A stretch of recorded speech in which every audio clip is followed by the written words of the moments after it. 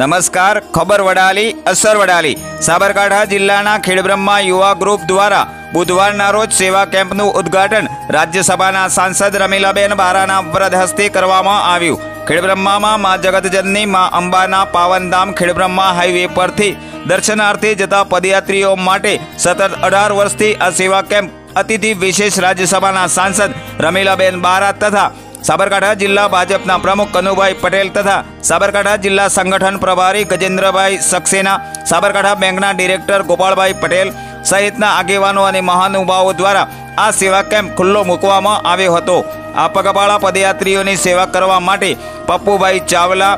જે કિશનચંદ ટેકચંદ પરિવાર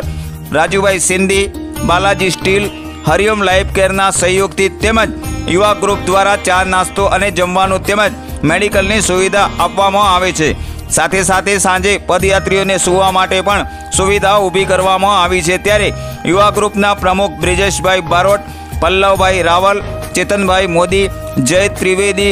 યુવા વોલેન્ટિયર્સ તથા પૂર્વ ધારાસભ્ય અશ્વિનભાઈ ગોટવાલ વિજયભાઈ પંડ્યા લુકેશભાઈ સોલંકી મુકેશભાઈ સોલંકી ભાજપ તાલુકા પ્રમુખ સુરેશભાઈ પટેલ શહેર પ્રમુખ અરવિંદભાઈ રાવળ મહામંત્રી રાજેન્દ્રસિંહ ચૌહાણ પ્રશાંતભાઈ પટેલ તાલુકા પંચાયતના પ્રમુખ રામભાઈ શિવાભાઈ પરમાર જિલ્લા પંચાયતના સદસ્યો તેમજ નગરપાલિકાના પૂર્વ કોર્પોરેટરો પત્રકાર મિત્રો તેમજ નગરજનો ખૂબ જ મોટી સંખ્યામાં હાજર રહ્યા હતા